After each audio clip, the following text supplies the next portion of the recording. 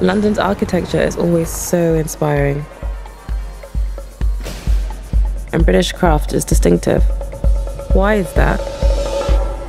Material choices and never over designing.